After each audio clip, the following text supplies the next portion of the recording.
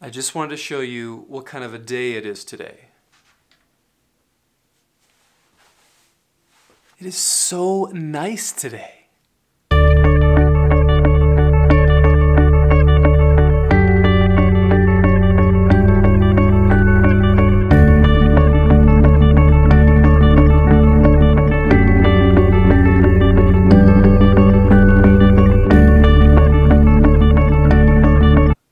Debating with myself as to whether or not I should go on a run right now. It's March 8th, but it's 63 degrees out right now. It's just beautiful. But then my like my back hurts kind of a little bit. I just yeah, yeah. I think I need to go on a run.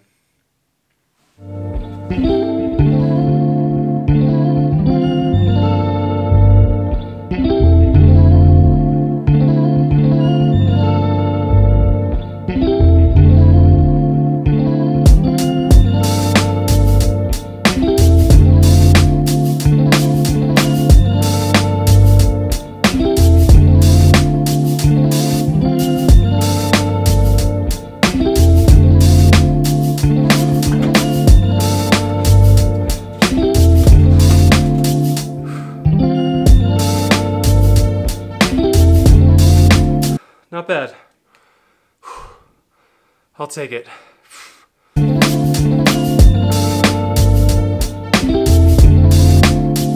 If you could choose what your last words would be, what would they be? That's kind of what we're dealing with in our passage for today here in day 302. We're looking at John 14 through 17.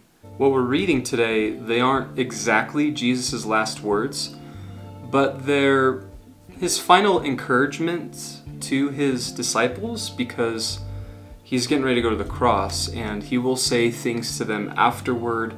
But, but this is really his final call to them before he's crucified and really helping them understand what's going to happen when he's crucified, then he's going to rise from the grave and then ascend, and then the Spirit's going to come. He's just trying to help them understand what all that is going to be like. But if you and I could pinpoint the moment in our life when we know what our last words will be, we would probably in some way anticipate that time and try to say something that was really meaningful.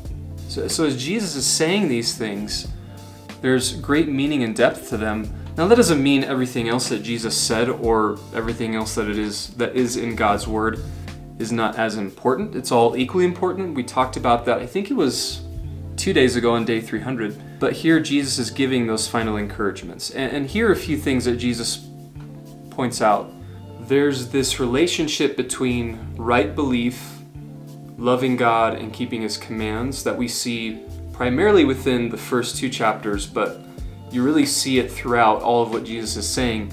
And the idea is he's saying is, hey, for you guys, the number one thing is to believe in me. When you have the right type of belief in me, you will you you will love me. You want to love me. Like you'll you'll be so compelled to love me, to love God. And that is what drives you to do the commands that I've called you to do. It's not do these commands then your love for me will grow and therefore you will be saved. No, it's you're saved and as a result of being saved you have this love within you for the Lord and that is manifested by obeying him in his commands.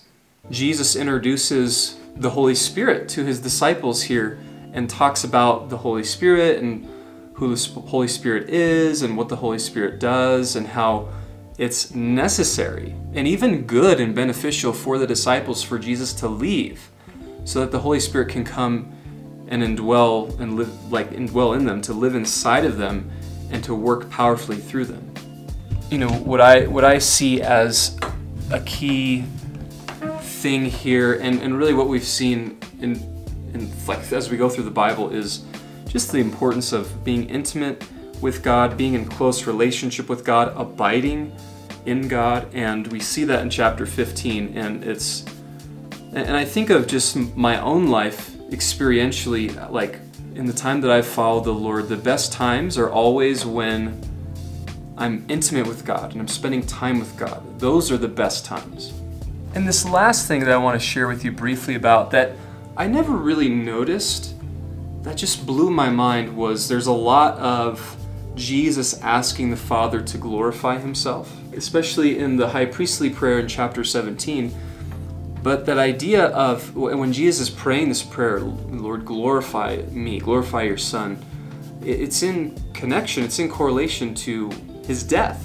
When I think of glory, I don't necessarily think of like death, unless it's like some kind of glorious death that you're always remembered by and you know celebrated. But but Jesus, he went through a very painful death. The way he was killed was how a criminal is killed.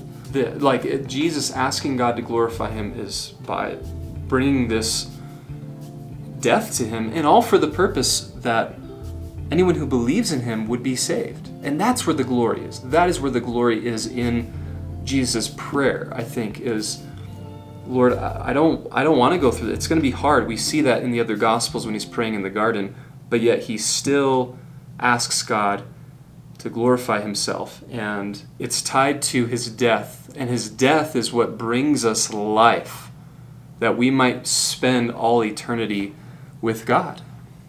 I forget which vlog, it was a while ago. It was right around June 8th of 2020. But it, it, was, it was a similar thing, like we talked about last words and like if you had the opportunity to pick your last words, what would they be? And uh, yeah, I think if you look around, I'll, I'll find it and link it below. Um,